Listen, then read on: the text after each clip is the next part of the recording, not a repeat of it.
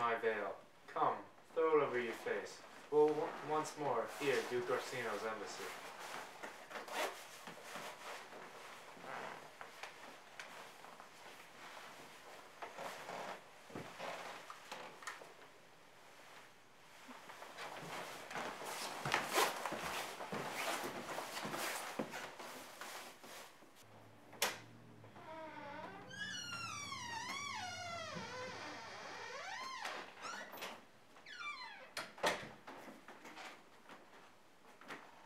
The Honourable Lady of the House. Which is she?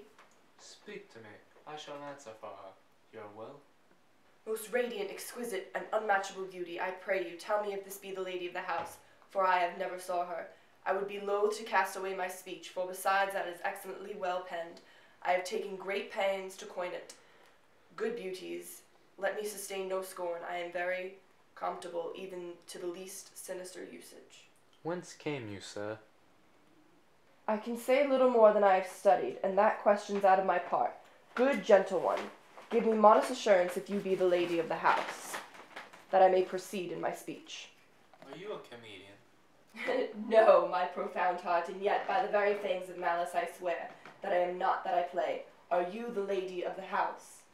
If I do not usurp myself, I am. Most certain, if you are she, you do usurp yourself. For what is yours to bestow is not yours to reserve. But this is my very commission. I will on my speech in your praise, and then show you my heart of the message. Come to what is important in it. I forgot you the praise. Alas, I took great pains to study it, and 'tis practical. It is the more like to be feigned. I pray you keep it in. I heard you were saucy at my gates, and allowed your approach rather to wander at you than to hear you. If you be not mad, be gone. If you have reason, be brief. Tis not that time of moon with me to make one in so skipping a dialogue. Will you hoist sail, sir? Here lies your way. No, good swabber, I am here to haul a little longer. Some mollification for your giant, sweet lady. Tell me your mind. I am a messenger. Sure, you have some hideous matter to deliver. When the courtesy of it is so fearful, speak your office. It alone concerns your ear. I bring no overture of war, no taxation of homage. I hold the olive in my hand. My words are as fun of peace as matter. Yet you begin rudely. What are you? What would you? The rudeness that hath appeared in me have I learned from my entertainment. What I am and what I would are as secret as maidenhead. To your ears, divinity, and to other, to any others, profanation. Give us the place alone, and we will hear this divinity.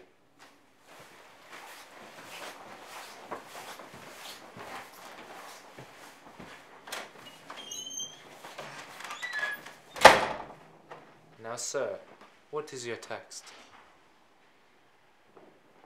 Most sweet lady, A comfortable doctrine, and much may be said of it. Where lies your text? in Orsino's bosom. In his bosom? In what chapter of his bosom? To answer by the method, in the first of his heart. Oh, I've read it. It is hearsay. Have you no more to say? Good madam, let me see your face. Have you any commission from your lord to negotiate with my face? You are now out of your text, but we will draw the curtain and show you the picture. Look you, sir, such a one I was this present, is not well done. Excellently done, if God did all. Tis in grain, sir. Twill endure wind and weather. Tis beauty truly bent, whose red and white nature's own sweet and cunning hand laid on. Lady, you are the cruelest she alive, if you lead these graces to the grave, and leave the world no copy. Oh, sir, I will not be so hard hearted. I will give you out divers schedules of my beauty. It shall be in- inveterated, and every particle and utensil labeled to my will. As item, two lips, indifferent red. Item, two gray eyes, with lids to them. Item, one neck, one chin, and so forth. Were you sent hither to praise me? I see what you are, you are too proud. But if you were the devil, you are fair. My lord and master loves you. Oh, such love that could be recompensed, though you were crowned the nonpareil of beauty. How does he love me? with adoration's fertile tears, with groans that thunder love, with sighs of fire. Your lord does know my mind. I cannot love him, yet I suppose him virtuous, know him noble, of great estate, of fresh and stainless youth, in voices well divulged, free, learned, and valiant, and in dimension and the shape of nature, a gracious person, but yet I cannot love him. He might have took his answer long ago. If I did love you in my master's flame, with such a suffering, such a deadly life, in your denial I would find no sense, I would not understand it. Why? What would you? Make me a willow cabin at your gate, and call upon my soul within the house. Write loyal cantons of contemned love, and sing them out out loud, even in the dead of night.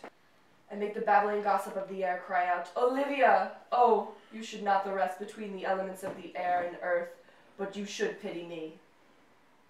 You might do much. What is your parentage? Above my fortunes, yet my state is well. I am a gentleman. Get you to your lord. I cannot love him. Let him send no more. Unless, perchance, you come to me again. To tell me how he takes it. Fare you well. I thank you for your pains. Spend this for me. I am no feed post, lady. Keep your purse. My master, not myself, lacks recompense. Love make his heart a flint that you shall love, and let your fervor, like my master's be, placed in contempt. Farewell, fair cruelty.